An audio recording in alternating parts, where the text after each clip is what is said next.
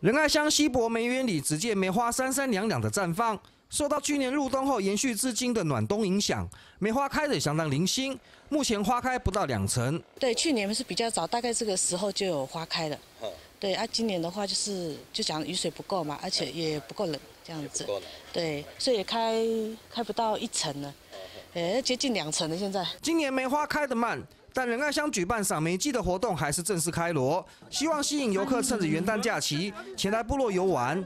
今年赏梅季，乡公所首次结合中原、清流、梅园等两村三个部落，力推部落文化及产业等体验行程。就算游客暂时看不见盛开的梅花，也能够体验部落人文特色。然后它那个花纹还蛮特别的，对对对啊，现在这种手工的东西也很少。哦，对，我觉得是还应该是还蛮珍贵的。哎，就我觉得就是。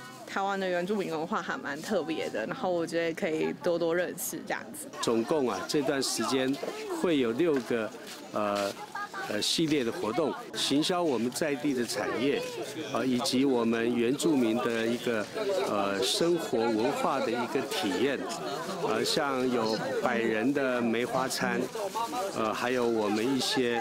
呃，手工艺品，呃，还有我们一些传统的一个风味餐的一个体验。赏梅季系列活动将持续到元月十号。到访的游客除了赏梅行程之外，还有丰富多元的部落文化体验。记者 No 南投仁爱采访报道。